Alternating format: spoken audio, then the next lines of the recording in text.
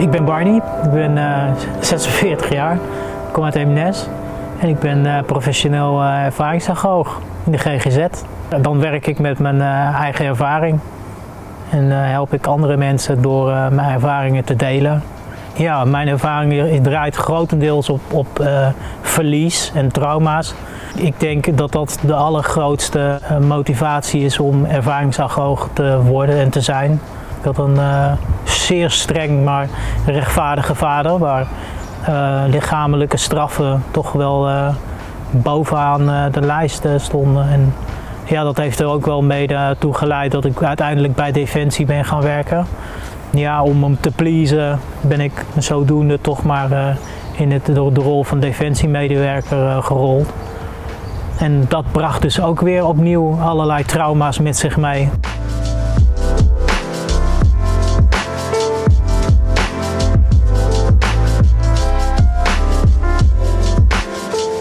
Voornamelijk het, het, zien van leed van oorlog in Afghanistan, Mali, de uitzendingen naar uh, Bosnië en dat als blauwe baret. En, uh, ja, daar hebben we toch al de meeste trauma's die, die vrij heftig waren. Dus het helpen van mensen, dat bermbommen opruimen en ja, daar, het wegvallen van, van je mede je medekameraden dan die ja, de diepe sporen ook even, even hebben achtergelaten. Ik kon niet verder. Ik werd continu getriggerd door uh, ja, slecht slapen, nachtmerries, het, het, wakker worden midden in de nacht, het, uh, de mood swings. En mijn gedrag ging, daarop uh, ja, zwaar achteruit. Ik voelde me niet veilig, ik had pleinvrees. Ja, daar moest aan gewerkt worden. Ik kon niet meer normaal functioneren.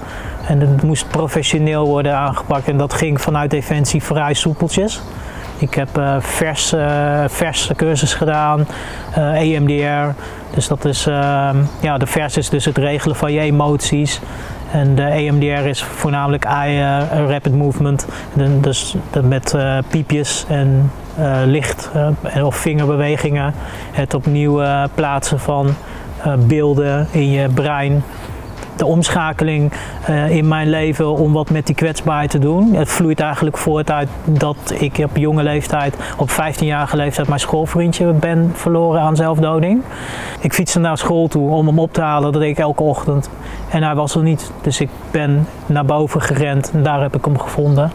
Ja, dat is eigenlijk wel de omschakeling geweest dat ik dacht van ja, als je vanaf zo'n jonge leeftijd tot aan volwassen zijn uh, met dat soort dingen te maken krijgt, ben je al uh, bezig uh, op jonge leeftijd met volwassen worden, terwijl je eigenlijk nog kind moet zijn en aan spelen moet denken, vriendjes, vriendinnetjes, brommers. Of, en je kan in een hoekje gaan zitten en, en, en, en erom gaan malen en huilen en, en, en emotioneel zijn, maar je kan het ook omzetten in een kracht en dat ik wil laten zien dat, dat hoe traumatisch iemands leven ook kan zijn, dat het niet altijd per se hoeft te betekenen dat, dat je verloren bent. Of, ik denk dat dit mijn allergrootste kracht is. Ik heb me heel alleen gevoeld in mijn leven. En ik, ik heb altijd gezocht naar die rijkende hand van kom pak mijn hand en ik, ga je helpen. Ik sta naast je, ik luister naar je. Ik ga jou helpen om sterker te worden. Ik ga je helpen om je te ontwikkelen, om jezelf te ontwikkelen, de kracht in jezelf te vinden. Dat heb ik gemist. Ik ben nu werkzaam uh, uh, bij Versa Welzijn.